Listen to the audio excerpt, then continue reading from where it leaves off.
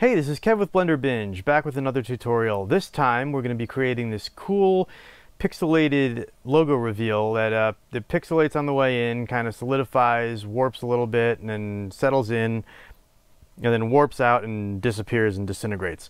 It's a pretty common looking effect that uh, you can do in After Effects pretty quickly, but I'm going to show you how to do it in the free, brand new Blender 2.8 and you're going to be able to do it and it's going to be cool and you're going to add another skill to your set and it's going to be great and you're going to save the world and it's going to be awesome. Or or whatever. Let's jump in. So the first thing i'm going to do is give it something to put this logo on. So i'm going to go add mesh grid. And then add grid down here. I'm going to say x divisions and y divisions. I'm going to click and drag over both of those and hit 60 and then hit enter Okay, and if you see, if I go here and hit tab, it subdivided that pretty nicely, and that's going to play into our effect really nicely now.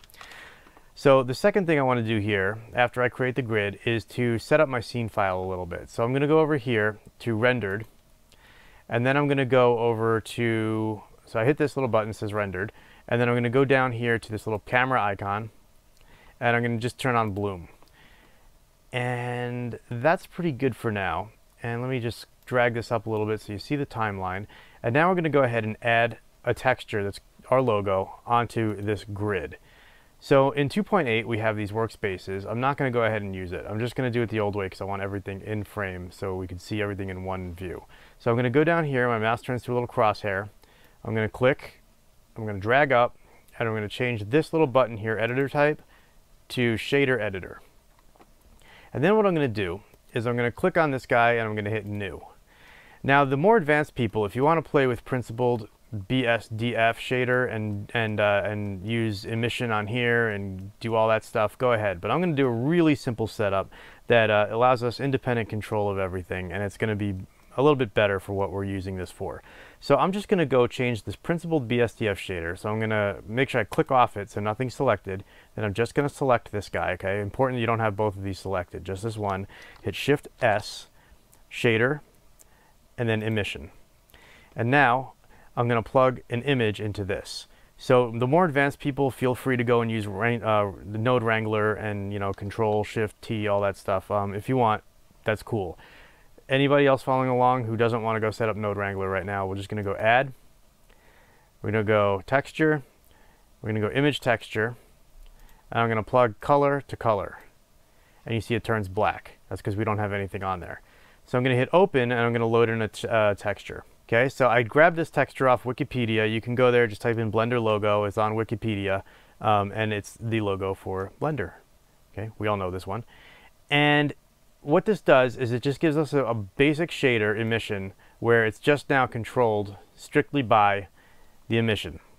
Everything else is black. And we're just going to black out the background anyway. I'm not going to worry about alpha channels and all that for now, but we're just going to black it out and we're going to get the effect. So to do that, I'm going to go to World, Color, and just turn this to black. And now let's just set up our camera. So to do that, I'm going to, you know, maybe I shouldn't have done that yet. Let me just turn that up a little bit. Let's gra grab our camera and I'm going to zero it out. So I'm going to hit N on the keyboard and you'll see that this little thing, uh, item, okay, you see the rotation of the camera and the location. We can just hit Alt R, that zeroes out the rotation, and Alt G zeroes out the location. See that? And then all I do, have to do is pull this up on the, on the Z a little bit, hit zero on the keyboard, and just pull it up so it's about there. And now I can go back this color here and turn that to black. So the background is now black. And there we have a nice glowy Blender logo. So now the, uh, the third part of this video, we're to do the actual, or fourth part, we're just to do the actual effect.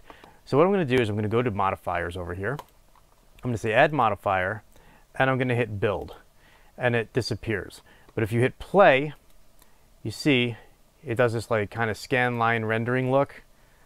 Okay, very, very, very basic look. That's cool. It's just building these, building these, uh, these, this grid up in a line pattern. So you can see if I select it, you see like how it's building it up line by line there, right? So what we can do is I could say start, all right, we have 250, I'm gonna say 240, all right, our, our animation will be uh, 240 frames. And so about 24, so about a second in, I'm going to start it. So the start on the modifier, it says at 1. I could say 24, and now it won't start until now. So it'll start at 24. And I can say length maybe 50 frames, and it'll only go 50 frames. So you see, goes up, feels pretty good, and it ends around here, right around like 74. Okay, so that's rolling up now. Now we can do is I can add another one of these builds by just hitting copy. Okay, I just get a copy of that, and now I can hit randomize. And now, if I go down here, you'll see that it starts randomizing as it comes in. So if I like hide this one, right, you'll see that it'll just randomize as it comes in. But I also wanted to have that effect of, uh, of building. So I turn it both on, and now I get this. Nice. And you can even stretch this out to like 60 to randomize it even more. And now you'll see that it finishes and then it just comes in. But for this tutorial, I'm going to put it back at 50 so it matches. And there, now our, uh, our effect is there. So all we have left to do is give it just a little bit of an interesting warp look. So to do that, I just go modifier again and hit wave. And over here, I have speed and height. Speed, I don't want it to be, this is like really fast. I don't need it to undulate like that. That's just crazy. So I'm going to take that down, 0.05, right? And uh, let's see, if I deselect that, that looks better. So by 96, it can flatten out, or by like 100, it can flatten out, right? So what I'll do for that is I'll keep it at about 90, the height. So what I'll do is I'll right click on height and I'll say insert keyframe. And then at about 100, I'll say height to zero and I'll do insert keyframe. So now if I hit play,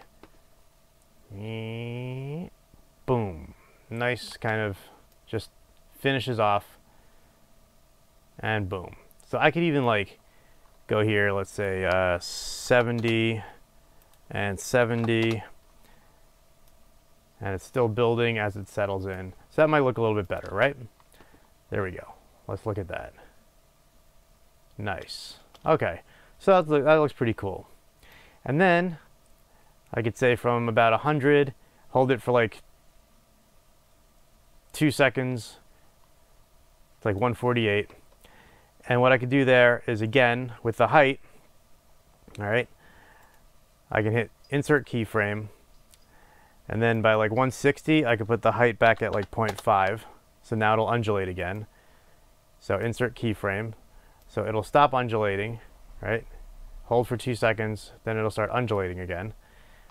And then like, say like 180, I can just add another one of these builds in.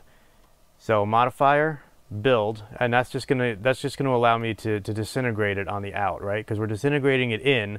These guys are working. I don't want to keyframe these because I like what they're they're doing.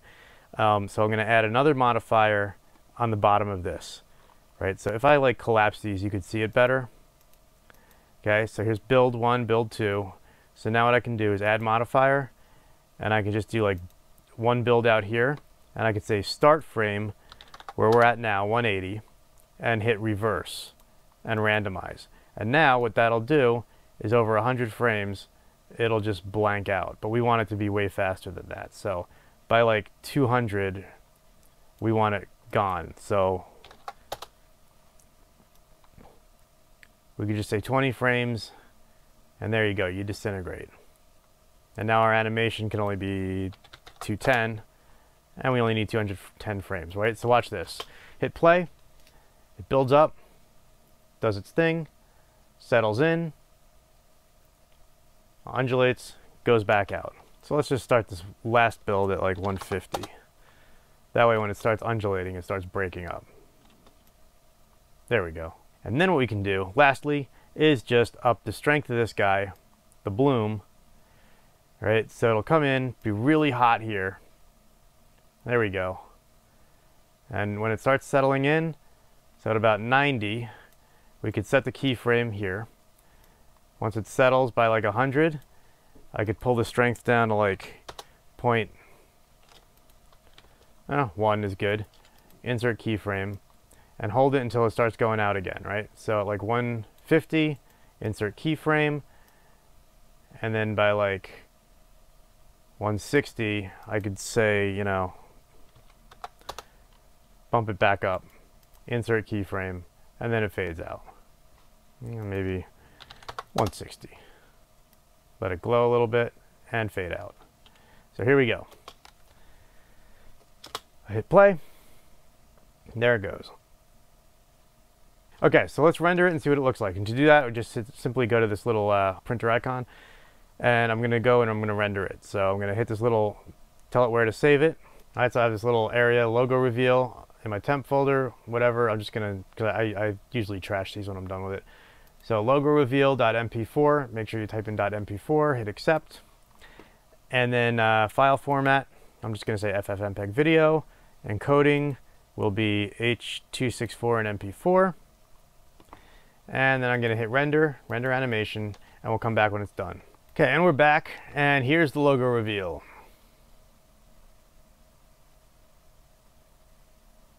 Simple little effect. So I'm going to go ahead and tweak it and do one more render, and we're going to take a look at it, and then I'll tell you what I did to make it cooler. Okay, and we're back, and here it is with a somewhat cooler looking effect. And all I did was just take the plane and subdivide it one more time. Selected the grid, hit tab, went to edge, hit subdivide once, and just subdivided it more. And now it just gives it a much cooler look and uh, much more like pixelated digitally but more like a particle type effect. And then over here it just kind of blanches out again. So that's it. So hopefully you got something out of this video. Um, hit like subscribe share it and uh, I will just keep making more. See you in the next one. Bye